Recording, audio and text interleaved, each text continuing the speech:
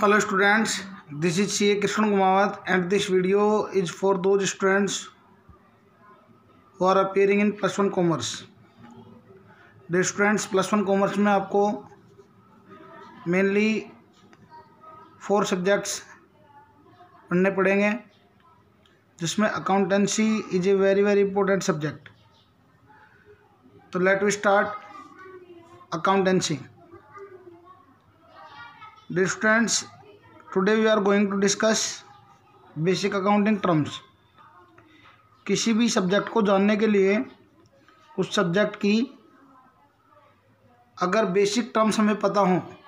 तो सब्जेक्ट को समझना बड़ा ही आसान हो जाता है तो let we start basic accounting terms first of all जिस सब्जेक्ट को हम पढ़ रहे हैं उसी का ही हमें मीनिंग पता होना चाहिए that is accountancy accountancy is a branch is a branch of study is a branch of study which contents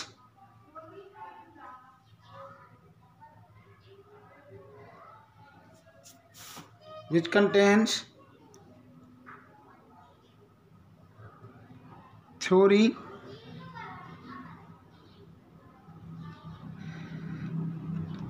principles and practice of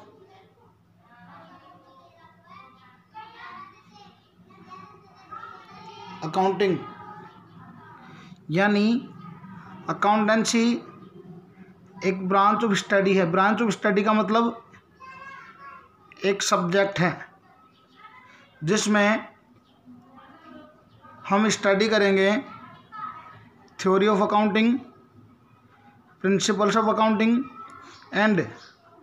practice of accounting के अकाउंटिंग करने का प्रोसेस क्या होता है अकाउंटिंग करने के लिए कौन से प्रिंसिपल्स फॉलो किए जाते हैं और अकाउंटिंग प्रैक्टिकली वे में कैसे की जाती है उस सब्जेक्ट को उस ब्रांच ऑफ स्टडी को ही हम बोलते हैं accountancy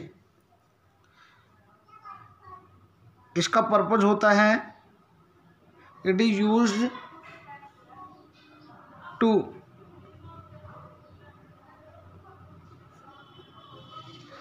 communicating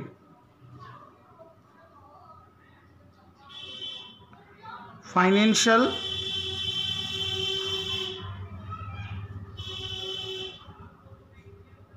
informations to users इसका उपयोग अकाउंटिंग के जो रिजल्ट्स हैं फाइनेंशियल इंफॉर्मेशंस हैं उनको डिफरेंट यूजर्स को डिफरेंट यूज़र्स को कम्युनिकेट करने के लिए किया जाता है तो दिस वाज द अकाउंटेंसी यानी एक ऐसी ब्रांच ऑफ स्टडी जिसमें principles theory and practice of accounting की स्टडी की जाती है और इसका उपयोग फाइनेंशियल इंफॉर्मेशंस के यूजर्स को कम्युनिकेट करने के लिए किया जाता है so this was the accountancy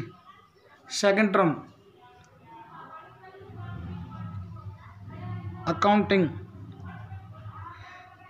many students are confuse between both terms accounting and accountancy उनके अकॉर्डिंग ये दोनों टर्म्स एक ही हैं but dear students both are these terms are different so let we discuss accounting accounting में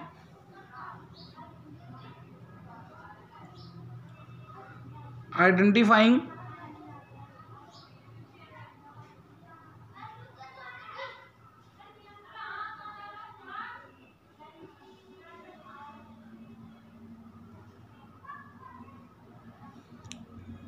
recording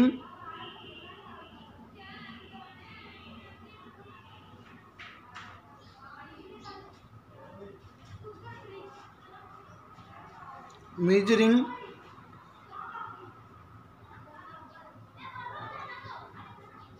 the financial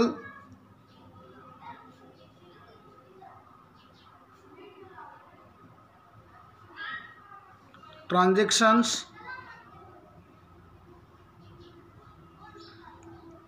in a systematic way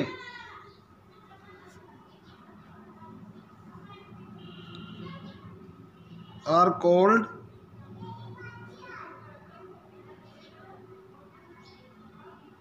accounting यानी जब financial transactions को हम इसको डिटेल में डिस्कस करेंगे what are the financial transactions जब financial transactions को आइडेंटिफाई किया जाए रिकॉर्ड किया जाए मेजर किया जाए तो उस सिस्टमेटिक वे ऑफ रिकॉर्डिंग को ही हम अकाउंटिंग कहते हैं यानी in short we can say systematic recording of financial transactions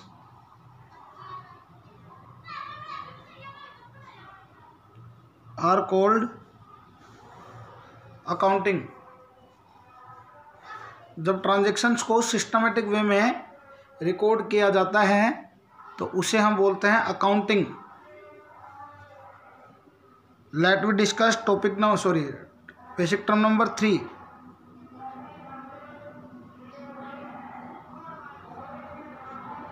account account It is a place or performa. It is a place or performa called ledger account at which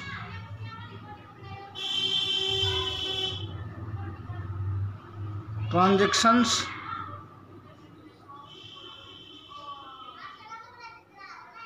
at which transactions of same nature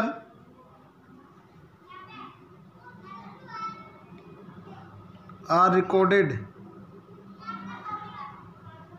एक ऐसी जगह या ऐसा proforma format जहाँ पर जो financial transactions होंगे जो सेम नेचर के हों उन्हें वहाँ पे रिकॉर्ड किया जाएगा तो उस प्रोसेस को ही हम बोलेंगे सॉरी उस प्लेस को ही हम बोलेंगे account like transactions with Ram जितने भी ट्रांजेक्शन्स आपने राम के साथ किए are recorded in Ram account transactions in cash जितने भी ट्रांजेक्शन्स कैश में किए जाते हैं are recorded in cash account तो स्टूडेंट्स अकाउंट एक ऐसी जगह का या ऐसे परफॉर्मा का नाम है जहाँ पर ट्रांजेक्शन जो सिमिलर ट्रांजेक्शन्स होते हैं सेम नेचर के सेम पर्सन या सेम थिंग से रिलेटेड हों उन्हें एक ही जगह पर रिकॉर्ड कर दिया जाता है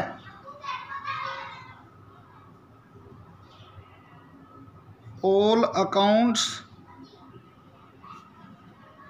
have two side जितने भी अकाउंट्स होते हैं उनके दो पक्ष दो साइड होते हैं that is debit side in short D R and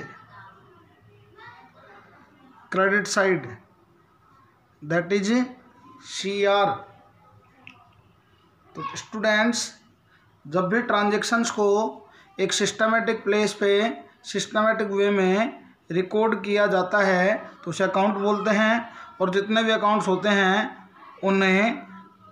उनके दो साइड होते हैं एक डेबिट साइड और दूसरा क्रेडिट साइड डेबिट साइड को डी आर और क्रेडिट साइड को सी आर कई बार अक्सर बच्चे क्वेश्चन पूछते हैं सर इनको डेबिट में डी आर और क्रेडिट में सी आर क्यों लिखा जाता है क्रेडिट में तो सी आर समझ आता है कि सी आर शुरू के दो word but students it is completely it is completely wrong because sorry for interruption we are discussing account account is a place और performa transactions of same of financial transactions of same nature are recorded एक ऐसी जगह जहाँ पे same nature के transactions को same place पे record किया जाता है like transaction related to Ram are recorded in Ram account transaction related to cash are recorded in cash account all accounts जितने भी अकाउंट्स होते हैं उनके टू साइड होते हैं that is debit side and credit side debit के लिए D R का इस्तेमाल और क्रेडिट के लिए सी आर का इस्तेमाल किया जाता है स्टूडेंट्स का अक्सर क्वेश्चन होता है कि सर सी आर में तो क्रेडिट में तो सी आर सही है बट डेबिट में डी आर क्यों यूज किया जाता है बेटा जो आपने C R first two letter उठाए हैं वो आपकी अजम्सन रोंग है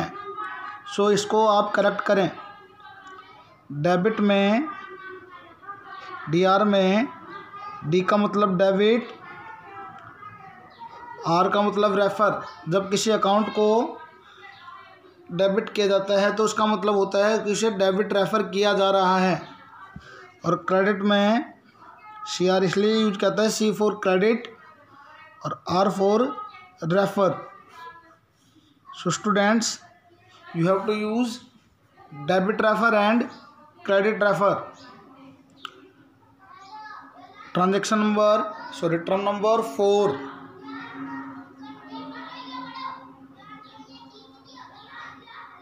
Financial transactions.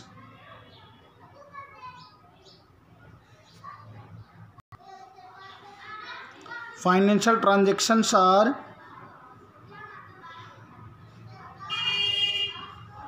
those transactions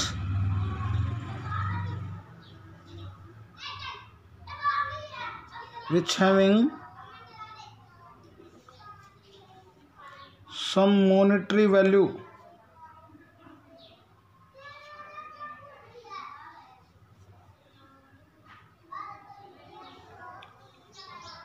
यानी ऐसे ट्रांजेक्शन्स जिनको मनी में मेजर किया जा सके monetary value means can be measured in terms of money यानी ऐसे ट्रांजेक्शन्स जिसे हम मनी के रूप में कैलकुलेट कर सकें मनी के रूप में जिनका माप कर सकें उन्हें हम बोलते हैं financial transactions so students transactions ऐसे ट्रांजेक्शन्स जो मनी में कैलकुलेट किए जा सके वो फाइनेंशियल ट्रांजेक्शन्स में काउंट होते हैं for example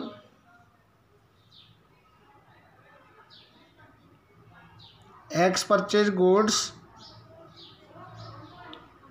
in cash rupees eight thousand X ने आठ हज़ार रुपये का सामान ख़रीदा तो यहाँ पे इन सामान की जो वैल्यू है monetary value eight thousand rupees है तो इस ट्रांजेक्शन को एक्स के लिए एक्स के लिए फाइनेंशियल ट्रांजेक्शन बोला जाएगा यानी ऐसे ट्रांजेक्शन जो कुछ मॉनेटरी वैल्यू रखते हों उन्हें हम बोलते हैं financial transactions so this was the fourth accounting term next term is what are the transactions अब हम डिस्कस करेंगे सर ये ट्रांजेक्शन क्या होते हैं तो dear students transactions are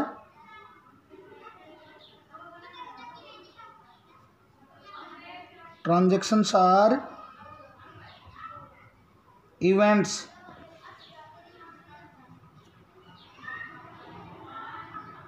happening happening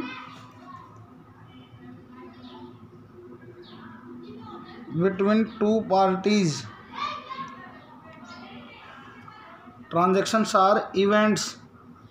ऐसे इवेंट्स दो जो पार्टी के दो पार्टीज़ के बीच में घटित होते हैं उन्हें हम बोलते हैं transactions for example X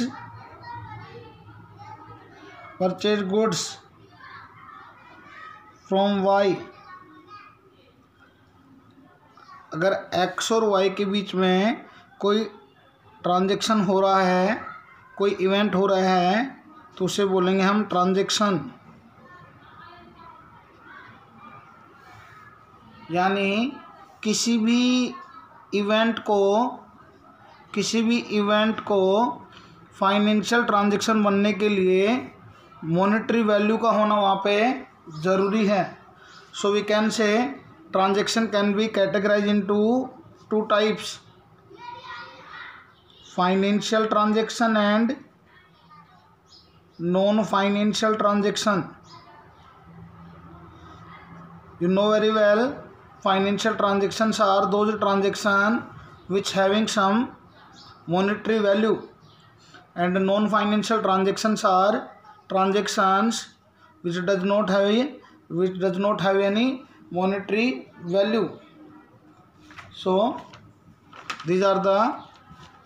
two types of transaction तो बुक्स ऑफ अकाउंट्स में अकाउंटिंग में केवल फाइनेंशियल ट्रांजैक्शंस को ही रिकॉर्ड किया जाता है next term is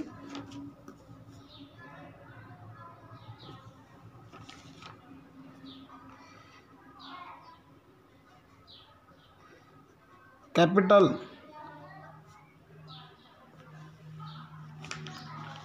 Hindi में इसे बोलते हैं पूंजी पूंजी का नाम सुनते ही आपके माइंड में ये आ जाता है कि जो पैसा ओनर लगाता है किसी बिजनेस को शुरू करने के लिए उस अमाउंट को ही हम बोलते हैं कैपिटल तो इसको हम इंग्लिश में ट्रांसलेट कर लेते हैं अमाउंट इन्वेस्टेड बाय प्रोपराइटर और ओनर्स इन हिज बिजनेस जो भी पैसा जो भी धन प्रोपराइटर या ओनर अपने बिजनेस में लगाता है उस अमाउंट को ही हम बोलते हैं कैपिटल यहाँ पे अमाउंट का मतलब कैश से बिल्कुल भी नहीं है capital can be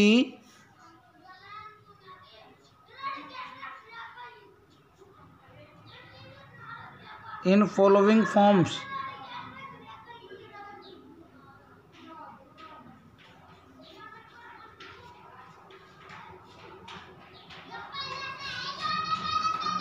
capital in forms में हो सकती है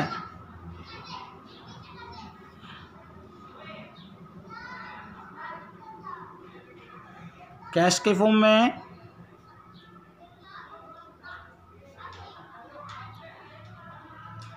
बैंक बैलेंस के फॉर्म में है असेट्स के फॉर्म में है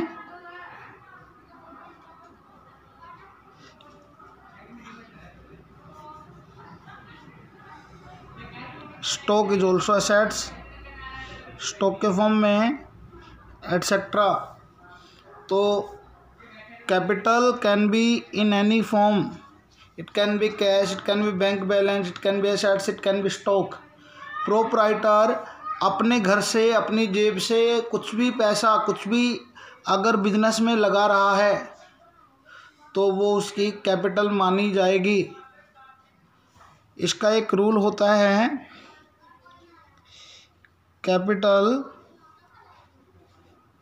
is a internal liability for business capital जो है वो बिजनेस की एक लाइबिलिटी है और लाइबिलिटी इंटरनल लाइबिलिटी के रूप में यानी एक बिजनेस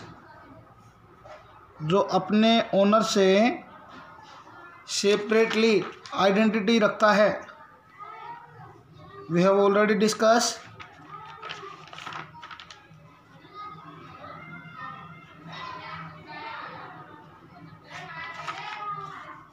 business entity ये इसका बिजनेस है और ये ओनर है X company J business and Ram is owner तो अकाउंटिंग पॉइंट ऑफ व्यू से both are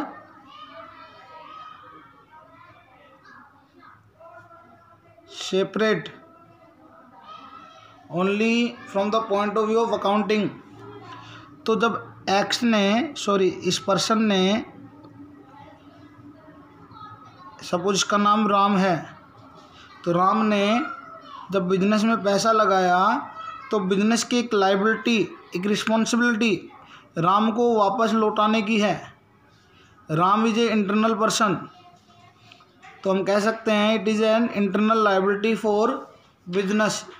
Ram को पैसा वापस लौटाना बिजनेस के एक इंटरनल लाइबिलिटी है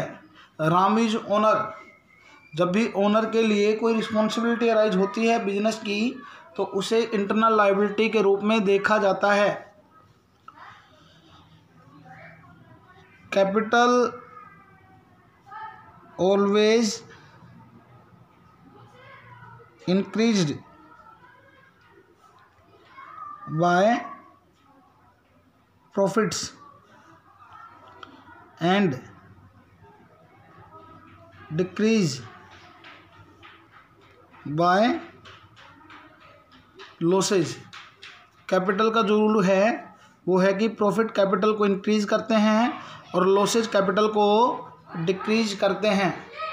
so it is the complete detail इसके अलावा अगर कोई पॉइंट होगा तो हम क्लास में डिस्कस करेंगे नेक्स्ट पॉइंट इज ड्रॉइंग्स यहाँ पे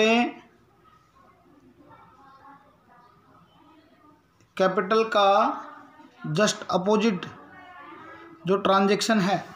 वो होगा ड्रॉविंग ड्रॉविंग्स यानी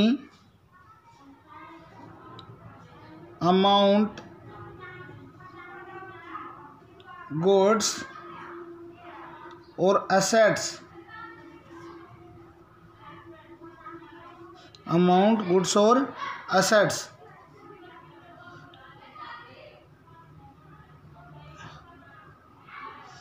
withdraw by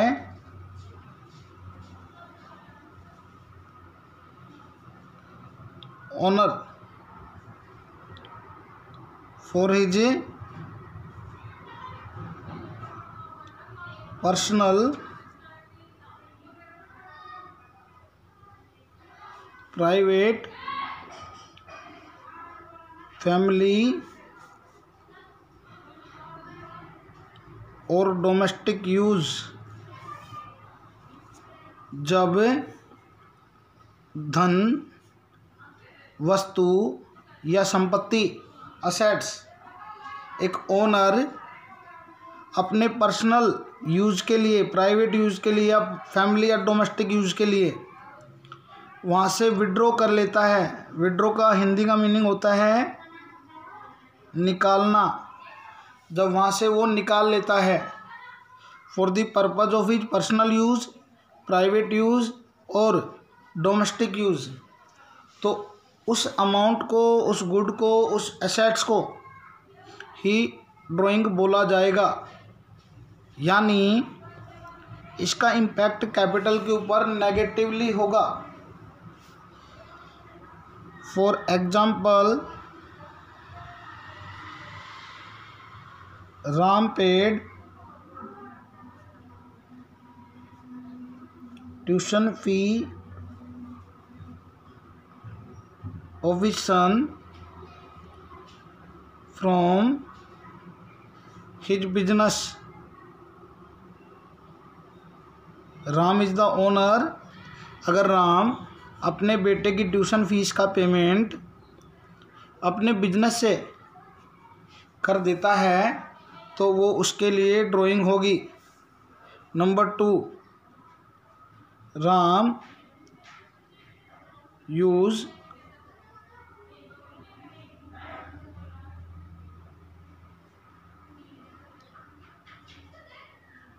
business furniture in his house suppose Ram के घर का फैन खराब हो गया राम के घर का फैन खराब हो गया गर्मियों का टाइम था और उसके बिजनेस में उसके बिजनेस की जो बिल्डिंग है उसमें दो फैन एक्स्ट्रा लगे हुए थे तो उसने वहाँ से एक फ़ैन हटा के अपने घर पे लगा लिया तो जितनी वैल्यू का वो फ़ैन है उतनी वैल्यू की उसने ड्राइंग कर ली example number three Ram use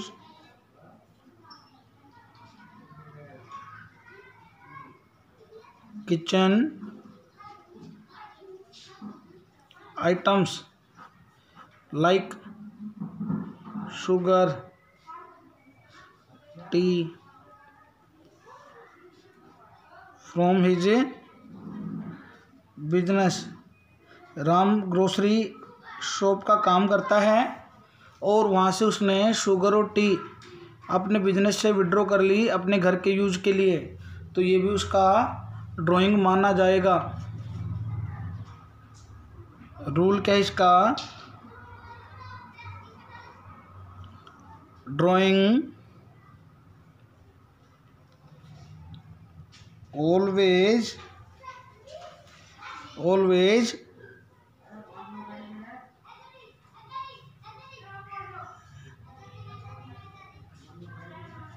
negative impact on capital having have always negative impact on capital यानी जब भी कैपिटल जब भी ड्राइंग होगी कैपिटल रिड्यूस हो जाएगी तो dear students this was the seventh term drawing so today this are the very very important topic very important terms in next lecture we discuss balance of terms thank you so much